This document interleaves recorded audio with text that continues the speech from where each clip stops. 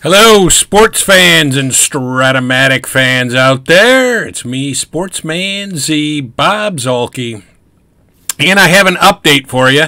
I know you've all been waiting with bated breath, sitting on your hands, waiting for this update. So, I'm going to update you on the Elmwood Strat-O-Matic League that I am a member of, which has just completed its regular season. And as you know, I am the GM of the Providence Grays in this league. And we will take a look at the um, final standings. And there they are. As you can see, my Providence Grays just missed the playoffs. Missed it by that much, as uh, Maxwell Smart would say. We won 90 games this year, and we missed the playoffs by one game to the Desert Dogs. And congratulations to the Desert Dogs. We had quite a. Um, quite a pennant race with them.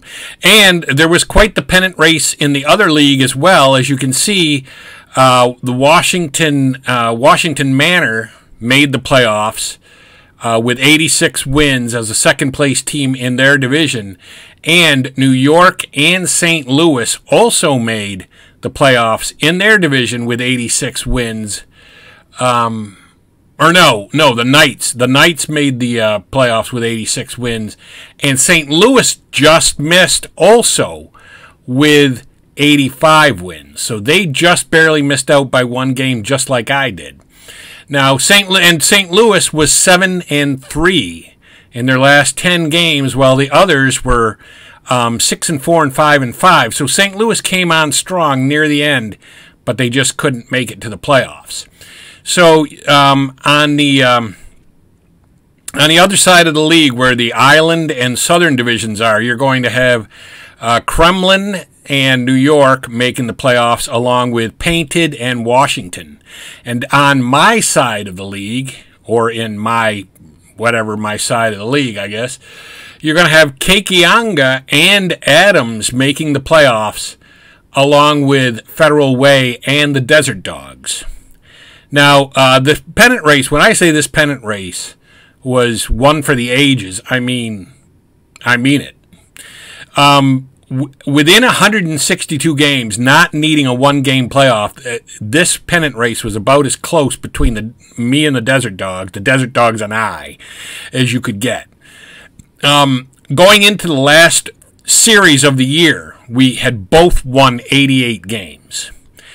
He had three games against Endwell, which, as you can see, is not a very good team, or at least they weren't this year. And I had three games against Adams, which, as you can see, is a playoff team. So I had to at least do exactly what he did, or one game better, over the span of three games, uh, which would be tough when I'm playing a good team and he is playing a team that's not that good. But he finished the season 10 and 0. His last 10 games, he was 10 and 0. I was six and four.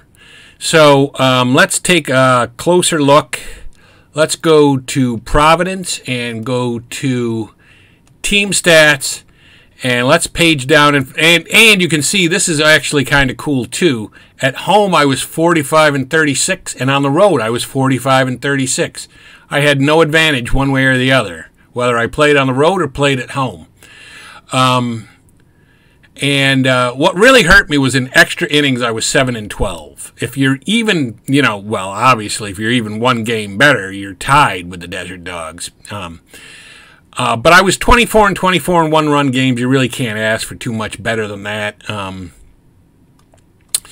but if you, if, you look here, um, I was 30 and 27 against the other division, and I was 29 and 18 against my own division, which you always want to be. And Federal made the playoffs. I was six and five against them. Um, the Desert Dogs made the playoffs. I was seven and five against them. Uh, on the other side, Adams family made the playoffs, and I was eight and four against them. And uh, Keiki made the playoffs, I was four and six against them. So on my side of the league, of all of the playoff teams, the only one I had a losing record against was Keiki I had a winning record against everyone else. So, um, you know, um, take that for what it is. Uh, let's take a look at my final statistics, team stats. Um, we'll go to primary statistics, move myself over here a little bit, move the uh, statistics over a little, and so you can see um, really where we where our downfall was was offensively. The team hit 245 as a team. Um, and we only had uh, 154 home runs in 162 innings. So that's really where my downfall was. And even considering that, I still won 90 games. Let's bear in mind. So you that gives you a good indication of just how good my pitching was. Um, Harper hit 291 with 15 home runs. Altuve hit 284 with 30 home runs and 33 doubles. Um, Jimenez had uh, 23 home runs for me. Now, there was a couple of keys here offensively, even though I wasn't good offensively or as good offensively as other teams, and really not even really good. Um, there was a couple of keys that came through for me. Harper, as you can see, played 109 games. He had a high injury on his card, but he still managed to play 109 games for me. And Jimenez, who also had a high injury rating on his card, managed to play 146 of 162 games for me. So that was key. Another thing that was key was uh, Andrus here was my shortstop. He, um, in real life, I think only hit like 240 or 243. But for me, he hit 266. And for most of the year, he was in the 270s and he hit 13 home runs against really nine, something like nine home runs in real life. And he stole 26 bases, was only caught five times. So Andrus had an above average year or above what his card would have indicated he might have done type of year. Um, so those were a couple of keys offensively for me that helped me out. Um, but now on the pitching, you can see the pitching was excellent. Um, Jason Adam had a 140 earned run average for me. Verlander was, um, what is that, 18 and 8 or something? I can't really see, little blurry, but I think it's 18 and 8, with a 216 earned run average in 233 innings. Um, Luis Garcia, I traded for Luis Garcia uh, shortly after the season started, and he had a 290 earned run average for me in 133 innings. Cueto had a 308 earned run average for me in 195 innings. Um, and then you can see, you know, some of the relievers here. Now Hendricks Hendricks, I'm going to have Hendricks is going to be good for me next year. He had a 336 earned run average. He was limited though. He only had 84 innings on his card, so I couldn't pitch him any more than 84 innings.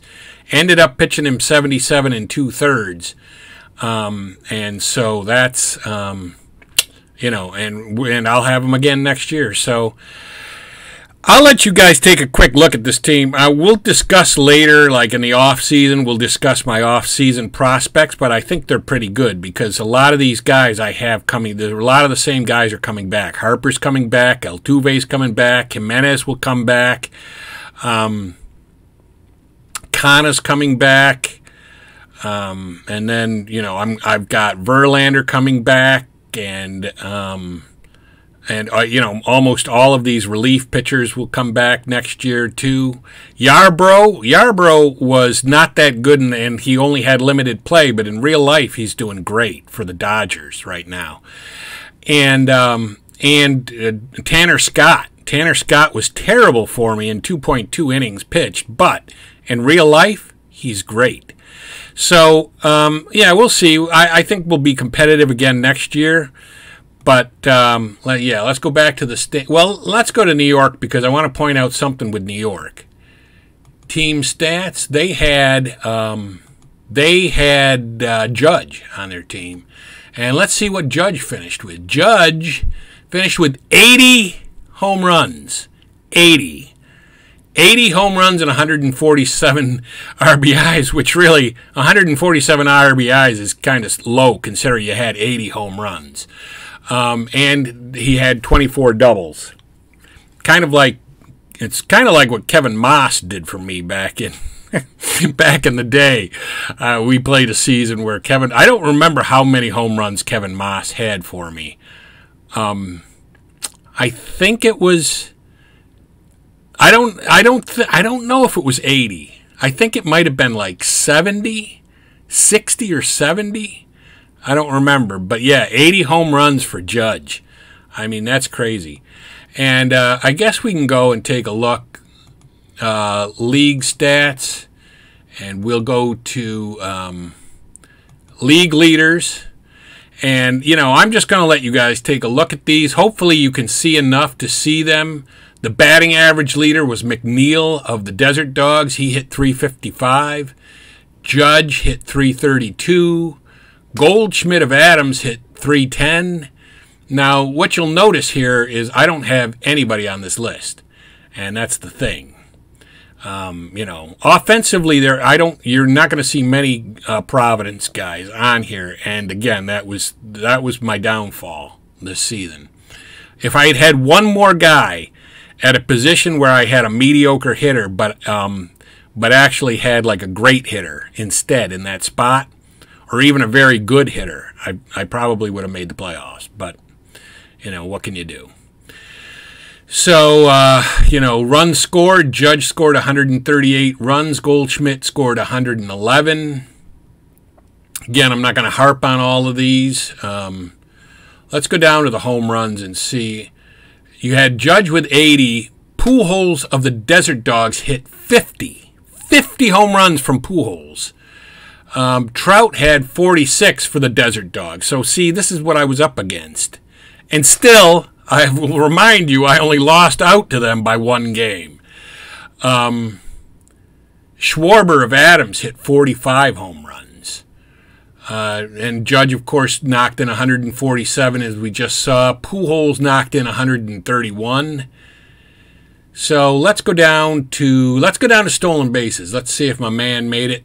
Um, does yes, Andrus did make that list. He had 26 stolen bases. He was fourth, or really, um, he was really uh, effectively third in the league because two were tied for second but third or fourth in the league in stolen bases, or tied uh, with Edman. Um, hitting streaks. Let's see if I had anybody on a hitting streak. Not really, no. So uh, let's go down to. Um, well, let's take a look at total average. You had Judge with a 1.332, Trout with a 1041, Vogelbach with an 1021. Now, one thing you're going to notice here, you've got Trout, Desert Dogs, but Trout next year, he's going to have a high injury on his card and maybe not going to be able to play that much. Uh, offhand, I don't know how many at bats he has right now, but uh, he'll be limited next year, so that'll help me. So, anyway, let's go down to uh, the pitching. Yeah. So for wins, uh, Verlander actually is, is kind of down the list. He only had 18 wins. Um, winning percentage, I had Verlander at 692. He's kind of still down the list. But, uh, and really, even innings pitched, he had 233 for innings pitched. Now, Alcantara had 260. I don't think, uh, well, we'll see what uh, happens with that. But anyway, 260 innings pitched for um, Alcantara, I guess is what his name is pronounced like. But for ERA, I had the top guy, and that was Verlander, 216. Um, uh, let's see. And I had Cueto near the bottom of the list, but at least he was on the list. Um, games started, 40 games. Dunning started 40 games. I didn't have anybody on that list. Uh, games pitched. Did not have anyone on that list. complete games, I did not have anyone on the list. So anyway, um, so anyway, I you know we'll just page down here a little bit if you want to stop on something and take a look. You can take a look, but that's uh, that's how it happened. And let's see where I am for. Let's see. League, league stats, standings, award voting. Let's see where I was on award voting because I am never even considered for manager of the year. And guess what? I still wasn't even considered for manager of the year. 90 wins for the first time in years, maybe a decade, and uh, over a decade. And I didn't even get considered for manager of the year. So, I mean, it, at some point during the season, I probably was in there, but um, no, not on it now. So, that uh, so there there you go. Let's go back. I'm going to just take one last look at the standings. Let you guys take a one last look at the standings. The way we finished again i finished one game out of playoff contention. I missed the playoffs by one one game. And i went two and three in my last three games but the desert dogs hats off to them they went three and oh. So um that's how it finishes. And uh, that is going to be it for me. Sportsman Z, Bob Zuhlke, signing off.